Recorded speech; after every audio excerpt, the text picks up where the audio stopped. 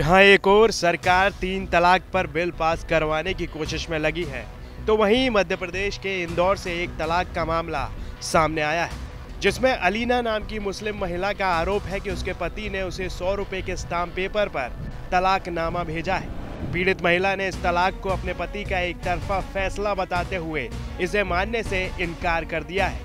महिला ने मामले की शिकायत पुलिस में की है आ, कुछ नहीं एक्चुअली हम लोग साथ में रह रहे थे अच्छे से रह रहे थे। हम लोग का लव मैरिज है बट उनकी फैमिली नहीं चाहती कि हम लोग कंटिन्यू करें या साथ में रहें। तो वो लोग उसको हमेशा प्रेशर प्रेशराइज करते रहते मेरे हस्बैंड को कि आप इसको छोड़ दो हम अच्छी जगह करा देंगे दूसरी करा देंगे इस्लाम में वैसे भी दो चार शादी हो सकती है। तो वो कहीं ना कहीं उनकी बातों से थक थक के थक थक के और सडनली एक दिन वो घर से गायब हो गए और दस दिन बाद उन्होंने जो है मुझे तलाक लिख के भेज दिया।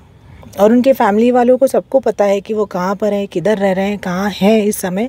मुझे कुछ भी नहीं पता, उनके फ़ोन बंद आ रहे हैं, मैं उनको कांटेक्ट करने की कोशिश कर रही हूँ, मैं कहीं से भी उनको कांटेक्ट नहीं कर पा रही हूँ। और उनके घर वाले मुझे बोल रहे हैं कि हमें कुछ नहीं पता। है जबकि उनके घर वालों के कंटिन्यूसली उनसे कॉल पर बात हो रही है, ये चीज़ पुलिस रिकॉर्ड में आ चुकी है। वहीं इस मामले में पुलिस का कहना है कि मामले की जाँच करेंगे और ज़रूरत पड़ने पर काउंसलिंग भी करेंगे। शेख ने अपने हस्बैंड और उसके ससुराल पक्ष के खिलाफ एक आवेदन महिला थाना में दिया है, जिसमें उसने बताया है कि उसका जो हस्बैंड है, वो उससे इकोनॉमिकली पैसा लेने की बात को टॉर्चर करता है, उसकी कोई प्रॉपर्टी बिचवा कर पैसा लेना चाहता है। अभी उसमें काउंसलिंग की जा रही है, उसकी फैमिली ससुराल पक्ष को बुलाकर उसमें काउंसलिंग की जा रही है और उसने ये भी बताया कि उसका हस्बैंड ने उसको तलाक पेपर पे तलाक लिख कर दिया है।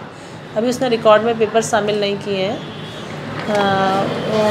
आवेदन में उन्होंने लिखा है कि मेरे को तलाक दी एलिना क्या काम करती है मैम? और कब से ये उनका प्रकरण चल रहा है आपस में?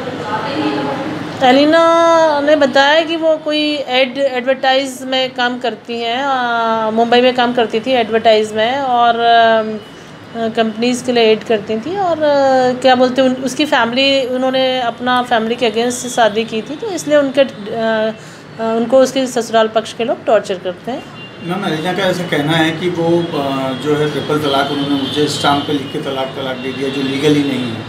तो पुलिस से सुनवाई अभी ऐसा उन्होंने नहीं बताया कि ट्रिपल तलाक दिया है लेकिन उन्होंने ये कहा है कि मुझे पेपर पे तलाक के पेपर भेजे हैं मेरे हस्बैंड ने। जब वो डॉक्यूमेंट शामिल करेंगे तो उनके डॉक्यूमेंट का एनालिसिस करके बताया जाएगा कि वो किस टाइप का तलाक है। अब क्या कार्रवाई कर रही है पुलिस चूँकि अलीना ने मौखिक रूप से बताया कि मैं अपने हस्बैंड के साथ रहना चाहती हूँ इसलिए पुलिस जो प्रयास करती है उसके काउंसलिंग कराया जा रहा है। काउंसलिंग के लिए उसके ससुराल पक्ष को बुलाया है। उसकी फैमिली पुनः स्थापित करने का प्रयास किया जा रहा है।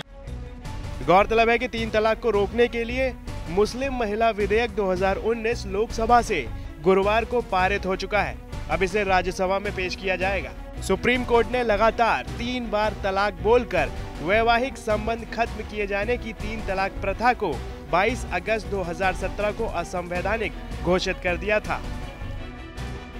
इंदौर से धर्मेंद्र कुमार शर्मा की रिपोर्ट।